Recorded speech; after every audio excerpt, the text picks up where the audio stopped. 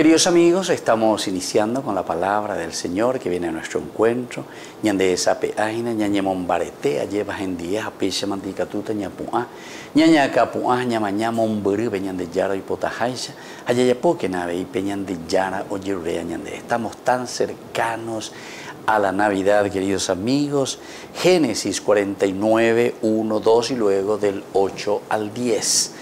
Jacob llamó a sus hijos y les habló en estos términos, reúnanse para que yo les anuncie lo que ha de suceder en el futuro. Reúnanse y escuchen, hijos de Jacob, oigan a Israel su padre. A ti, Judá, te alabarán tus hermanos, tomarás a tus enemigos por la nuca y los hijos de tu padre se postrarán ante ti. Judá es un cachorro de león, has vuelto de la matanza, hijo mío se recuesta, se tiende como un león, como una leona. ¿Quién lo hará levantar? El cetro no se apartará de Judá ni el bastón del mando de entre sus piernas, hasta que llegue aquel a quien le pertenece y a quien los pueblos deben obediencia. Qué hermosa también, queridos amigos, queridos hermanos, esta profecía que nosotros estamos mirando desde la boca del mismo papá, ¿verdad? De Judá. Es decir, Jacob que habla a sus hijos. Y aquí de cierta manera está perpetuando en su hijo Judá. Ella lleva.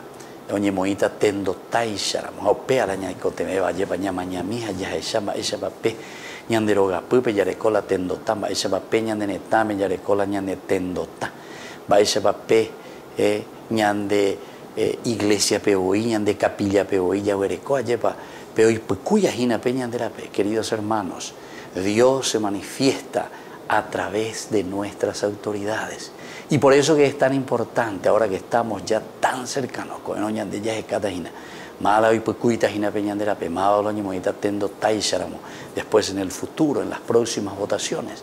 Pero Peana, ya esa Peana, porque lo que está diciendo aquí el Señor es demasiado importante, porque es el que verdaderamente nos va a llevar hacia la felicidad como pueblo, como nación.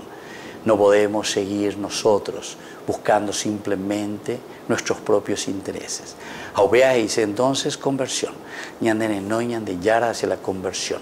Ya pemba ya ya la corrupción, ya ya peñan en porque nosotros pensamos que yendo detrás de las cosas falaces, de las cosas que no son las elementales, las fundamentales, que son superficiales, pensamos que son las que nos harán felices. No, queridos hermanos. La vida, la política, la comunidad sin Dios no es nada. De yara, peñan de yara o de su propio evangelio. Y que la bendición de Dios descienda sobre cada uno de ustedes, el Padre y el Hijo y el Espíritu Santo. Amén.